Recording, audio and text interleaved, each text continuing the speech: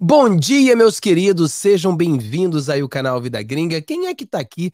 Você acabou de assistir o nosso vídeo de manhã, começando com o pé direito. Todos os dias, seis da manhã, temos uma live para você e eu começarmos com o pé direito.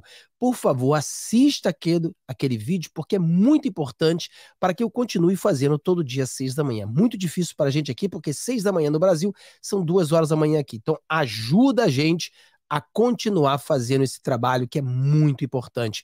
Como eu prometi para vocês, a gente vai fazer uma análise do vídeo desse desembargador aqui, que é muito forte, mas muito forte mesmo. Então inscreva-se no canal se você não inscreveu ainda, dá o seu joinha, joga no grupo do WhatsApp, Telegram, você que está aí no nosso Facebook, estamos chegando a 300 mil, joga nesses grupos grandes do Facebook, vamos, vamos que vamos, porque olha, quem ri por último ri melhor. Eu tenho certeza que nós iremos vencer essa batalha. Nós iremos vencer. O nome dele é Desembargador Sebastião Coelho. Né? O desembargador Sebastião Coelho vai para cima de Barroso. Olha só isso aqui e nós iremos analisar juntos. A decência, a decência indica que o senhor deveria se recolher e não tentar assumir essa posição. Mas a sua vaidade e de tantos outros seus companheiros aí do Supremo não lhe permite isso. Não lhe permite isso. Tô... Isso aqui ele falou uma coisa que a gente tem que começar já a pisar no, no sapato, né? A decência. Se nós vivêssemos em um país sano, um país curado, um país saudável, um país democrático e não um país com a democracia relativa, se nós vivêssemos em um país onde as pessoas tivessem vergonha na cara, ele simplesmente teria falar, ele mesmo falou: "Olha, eu não quero mais ser juiz". Ele ia pedir para sair. Porque é assim. Antigamente, quando existia honra, existia hombridade, existia tudo isso, uma pessoa fazer uma cagada que fez o Barroso, porque muitas pessoas desconfiam de tudo que aconteceu. O Barroso vai e confessa. Aí depois o Pacheco vai e diz: Ó, oh, cara, você falou besteira.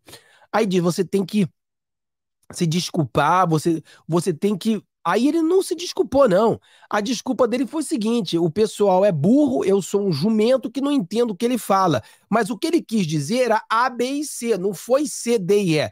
Falei, cara, peraí, o que, que é esse nós? Não, mas era é, os votos. Peraí, votos? Aí depois ele trocou. Não, voto não dá e trocou. Aí depois ele diz, ele queria falar dos extremismo. Aí entendi.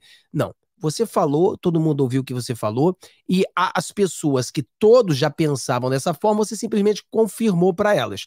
Então, se houvesse hombridade, honra, se tivéssemos um país saudável, ele teria pedido para sair, né? Pede para cagar e sai andando. É o ditado que nós tínhamos. Isso teria que ser feito, feito. Mas no Brasil, o cara faz o que faz e ele continua lá. Vamos lá. A quem? Cabe a todos nós fazer o quê? Perder o medo. Onde já se viu uma nação temerosa do que pode acontecer? Bom, aqui a gente tem que parar de novo, porque ele está tocando realmente na ferida. Pessoal, você não pode ter medo. A mensagem que está sendo falada está sendo deturpada para enganar você. Você está sendo manipulado. Eu, você, nós temos que fazer críticas construtivas, crítica aos políticos. O que nós não podemos fazer são ataques, xingamentos, coisas de extremistas, coisas malucas. Isso não é para a gente fazer. Então, as pessoas estão jogando em você, dizendo que você não pode falar nada. Pode sim. Você pode criticar. Você pode falar como um deputado. Você pode ter críticas pontuais. O que não se pode fazer são ataques, ameaças. Então a gente não pode cair nessa armadilha e ficarmos com medo de dizer a verdade. Não podemos. Estamos vivendo numa medocracia. O povo está apavorado porque o povo está sendo enganado e manipulado, pensando que se ele fizer uma crítica ao Alexandre de Moraes, ele vai ser preso. Se ele fizer uma. Não, você não vai ser preso se você fizer uma crítica é, construtiva ou uma crítica pontual. O que dá a prisão é fazer ameaças. O conservador não faz ameaças. O conservador não precisa xingar. O conservador não precisa cometer crimes. Quando a gente discorda de, de algo, a gente fala, critica. E isso é legal fazer, mesmo com os togados. Abri aqui o celular, porque ontem eu falei com uma juíza do Estado do Norte, eu não vou citar aqui, vou até cobrir o nome da colega, e ela, eu citei que viria aqui a essa, a essa reunião. E ela disse o seguinte: eu vou só ler aqui a mensagem dela. Ela falou assim: mostre. Oh, Jesus, céu novamente, mas eu vou achar. Só um minuto e eu já vou encerrar, não vou me demorar, porque eu fui convidado pelo deputado Marcel lá para a sessão da Câmara e eu vou ter um tempo expressivo lá. Ela disse o seguinte: mostre a nossa indignação. E continuou, numa outra frase, está aqui. Tenho vergonha de falar que sou juíza. O que essa juíza está falando Pena que eu não pedi sua autorização para dar o crédito. É o que pensa a maioria, professor, a maioria esmagadora dos juízes e juízas do Brasil. O juiz hoje. Você vê o que é a percepção. Né? A percepção que talvez você tenha é que a maioria dos juízes concordam com o Barroso mas ele mostra para todos nós que ele tem conhecimento, ele conhece mais juízes do que eu conheço, e ele diz que, na verdade, a maioria dos juízes pensam como eu e você. Então, você vê que é tudo questão de percepção. Vergonha do Supremo Tribunal Federal. Só não pode falar, porque se falar, recebe um processo administrativo no Conselho Nacional de Justiça e é afastado sumariamente então, quando o ministro vai a uma reunião política dizer que nós vencemos tal. Posso tomar sua água? Claro. Um pouquinho? é, é, vai a uma reunião política e diz: nós vencemos determinada corrente política, deputado, nosso deputado aqui de Brasília. Nós quem venceu? Porque ele só participa de dois grupos do grupo do Supremo Tribunal Federal. Ele é um dentre onze. Ele só participa de um segundo grupo. Participou ativamente. Um entre sete. De qual grupo ele está falando? Nós vencemos. Mas não, não é nada disso. É como cidadão, ok. Então, o senhor participou como grupo da coligação que venceu o governo? Que está no governo, eu não estou tratando de política, olha, a política são com os senhores, minha preocupação é o Poder Judiciário. Então, se participa desse grupo, o senhor não tem condição de ser um julgador no Supremo Tribunal Federal. Mas essa é a realidade. Nós, hoje, o Supremo Tribunal Federal se tornou um poder tão gigantesco que ele governa da maneira que bem entender. Governou o país com as suas decisões quatro anos atrás. No momento, está parcimonioso, mas não se iludam, que não vão os, os, governantes da atualidade não se iludam. Na hora que os senhores ministros entenderem que o seu poder conquistado, agigantado, está sendo contrariado, eles vão novamente agir, porque eles conquistaram esse poder Aqui ele fala, uh, ele manda uma mensagem para o Lula, né? Porque o Lula, os petistas, estão todos contentes. Por quê? Porque a ditadoria, o autoritarismo está contra os bolsonaristas. Então, como estão atacando o inimigo do meu inimigo, ele é meu amigo. Mas ele manda o Lula abrir o olho. Porque eles, cedo ou tarde, irão para cima de vocês. Isso vai acontecer, isso é fato como eu falo para vocês, eles ali no meio, o sistema, o establishment, ele não quer perder o poder. Uma vez que você tem o poder, você não quer dar esse poder para ninguém mais. Então você tem o que? Dois alpha dogs. Os dois lutando pelo poder. Os dois querendo o poder total. E isso não vai dar certo. E tomara que nessa briga de poder que Lula perca. Entendeu?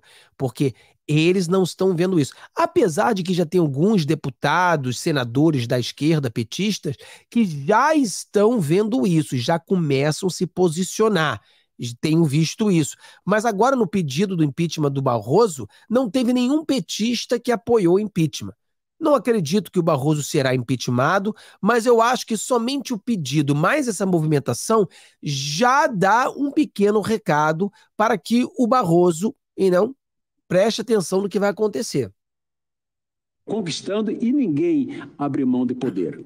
Então, senador Malta, é, uma reforma do Poder Judiciário ela é urgentíssima.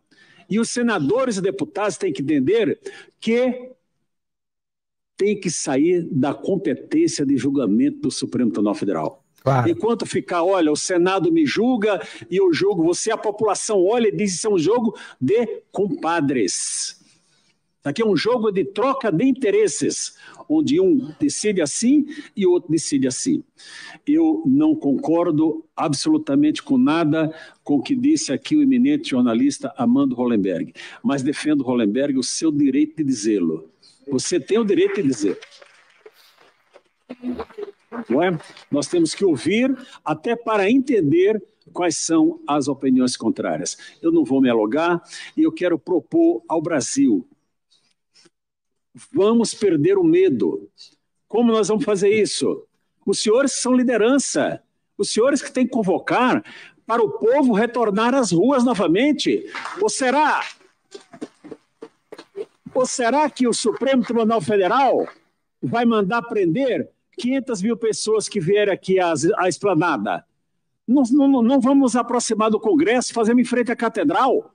Será que, não, que vai prender 500 mil pessoas, um milhão de pessoas? 10 milhões? Será? Não vai. Vão perder o medo. Chega de medo. O medo nos paralisa. Juízes com medo, como é que pode?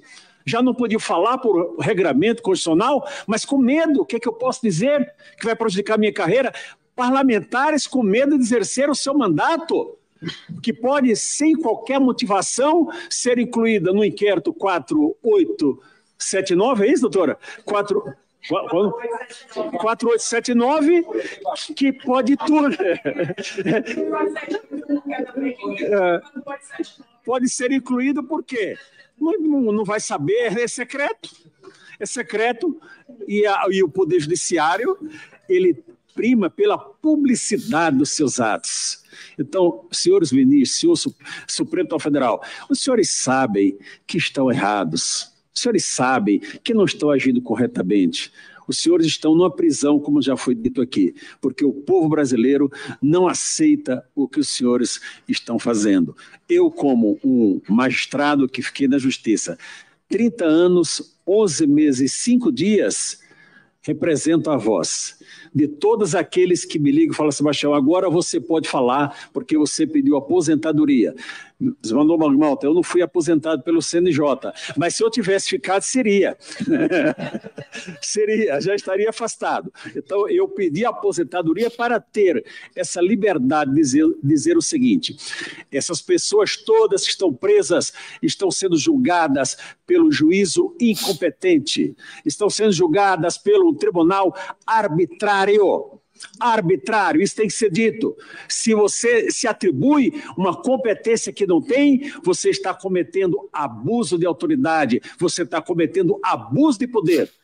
E esse poder só vai baixar a bola quando o povo for para a rua e disser: chegou, basta, vamos parar a justiça que representa o Supremo Tribunal Federal. Não é o juiz de primeiro grau, não é o juiz de segundo grau. É aqueles que querem agir como políticos sem terem recebido o voto, um voto sequer do povo brasileiro. Muito obrigado. Então nós vimos aqui, realmente ele falou muito forte, e eu acho que o mais importante do que ele falou ali é o que nós vemos, a gente vem falando aqui de algum tempo. Nós temos que perder o medo. Não vivemos numa medocracia. Daqui a pouquinho entram aí falar, ah, falar do, dos Estados Unidos é muito fácil. Olha, não tem nada que ver uma coisa com a outra. Você tem que saber entender o que você pode ou não falar. O que eu mais vejo são pessoas lá no grupo. Se você está no grupo comigo, você sabe. Sempre eu dou bronca nas pessoas quando eu vejo o cara usando o fígado. Não use o fígado. Use sua cabeça, seja inteligente. Entendeu? O pedido do impeachment foi feito foi feito um pedido de impeachment e nós, eu, na minha opinião, não acredito que o impeachment vai acontecer. Eu não gostei muito da estratégia do pedido de impeachment. Eu acho que eles deveriam ter sido mais técnico e menos partidário. O que, o que eles deixaram passar no papo do impeachment é que, tipo, nós somos bolsonaristas, nós contra eles. Essa não é a estratégia que dá certo. A estratégia seria dizer que não é eles contra nós. Seria dizer que, tecnicamente, o cara errou. Independente se ele é Bolsonaro, se ele é Lula, o que quer que seja. O erro foi um erro gigantesco e não tem, não, não, é, existe esse negócio de você cometer um erro desse, como cometeu ele, e simplesmente pedir desculpa e tudo passa. Não é assim tem que ter um pênalti. Se a polícia me para por um, um, eu tô na alta velocidade e ele me para, só porque eu peço desculpa não quer dizer que eu vou ganhar um ticket. O cara vai, vai continuar me dando um ticket, porque eu tava em alta velocidade.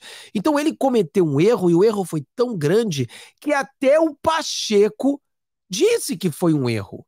E o Pacheco pediu para ele se retratar, pedir desculpa. Então, ou seja, o próprio Pacheco já disse: então, se o Pacheco assume que é um erro, então a gente pede um impeachment, um impeachment totalmente assim uma questão técnica, o Pacheco fica meio difícil o Pacheco dizer sim ou não. Entendeu? Por quê? Porque se ele falar que não, você acabou de falar que o cara errou. Então a gente tá um impeachment, você tá dizendo que não errou mais? O que que tá, o que tá acontecendo contigo? Então, eu acho que na minha análise, o impeachment não vai acontecer, mas eu vou torcer para que aconteça, eu vou torcer para que eu esteja errado. Eu vou torcer para tudo isso, mas eu acho muito difícil de acontecer. O próprio Flávio Bolsonaro falou uma cagada, cara, que o Flávio Bolsonaro, às vezes, realmente é, fica difícil. Ele dizendo que votou contra a Lava Toga. Cara, como é que você votou contra a Lava Toga? Como é que você, filho do presidente, me vote contra a Lava Toga? Ah, mas porque a Lava Toga, isso, pelo amor de Deus, como é que você votou contra? É complicado o que a gente vê, né? A gente fica sendo é, é, criticado e muitas vezes por causa de coisas assim. De, de, não ter o menor sentido ter votado contra isso. Ah, porque a gente não vai ter voto suficiente, mas mesmo assim, você teria que ter votado a favor. Então, eu acho que a estratégia ali, primeiro que a, a o Congresso está em recessão. Então você não teve aquele multidão de pessoas para ficar ali para ver. Segundo, que a mídia ela usou da estratégia, da estratégia de não levar ninguém, para que ninguém ficasse vendo. E terceiro, que eu, como eu falei para você, em vez deles tentarem dizer que é uma questão totalmente técnica, não tem nada a ver se você é ou não bolsonarista, eles levaram muito para o lado é, mais pessoal partidário e começaram a falar de coisas que só acontece com Bolsonaro, só acontece com o bolsonarismo. Então, isso acontece porque nós, para que a gente tenha um impeachment do Alexandre do, do, do, Barroso, nós vamos precisar da esquerda votar junto com a direita, vamos precisar aquele centro-esquerda votar junto com a direita.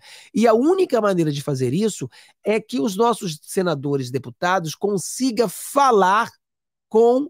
tem que quebrar a bolha e falar com aquela pessoa que é, por exemplo, um globalista todos bolsonaristas, como eu e você, escutamos e concordamos com eles. Mas eles não precisam convencer a minha pessoa. Eu já concordo com eles, você já concorda com eles. Ele precisa convencer o cara que não é de direita. Esse cara que é o globalista, direita limpinha, ele que tem que ser convencido. Então, a fala dos nossos deputados e senadores tem que ser levada a eles. E o que eu vi as falas hoje, hoje não, ontem, desculpa, foi uma fala levada a nós, eu e você. Aqui nos Estados Unidos, a campanha é, presidencial ela começa com as primárias. As primárias é o seguinte: você tem vários republicanos que querem ser presidente, você tem vários democratas que querem ser presidente. Para que você seja o candidato, você tem que ganhar no voto. Então o que acontece? Nas primárias, a tendência é que a esquerda seja bem de esquerda e que a direita seja bem de direita. Né? Uma direita até mesmo a esquerda né, mais para o extremo e a direita mais para o extremo. Uma vez que a pessoa ganha a candidatura. Então, por exemplo, para o republicano, quem ganhou foi o Donald Trump, um exemplo. Quem ganhou pelos democratas foi o Biden, exemplo. Então, esses dois ganharam, aí eles começam uma outra outro estilo de campanha. Então, a primeira é para você ganhar a sua base. A sua base ela é mais raiz. Então, você se coloca como mais raiz. A segunda fase você não precisa somente os votos de quem já votou para você. Por quê? Aquilo ali já é seu. Agora a estratégia é convencer as pessoas que não votaram, porque não votam nas primárias. Então é isso que tem que acontecer no Brasil. Não adianta eles quererem falar para a bolha. Tudo que eles falaram, nós já sabíamos. Eles precisam falar para quem está fora da bolha coisas técnicas, questões técnicas, que isso vai, vai se voltar a vocês, que isso não pode acontecer, etc. e tal. Tá bom? Então, acho que essa é a visão. Galera, se você está inscrito no canal, inscreva-se se você não está inscrito ainda, tá?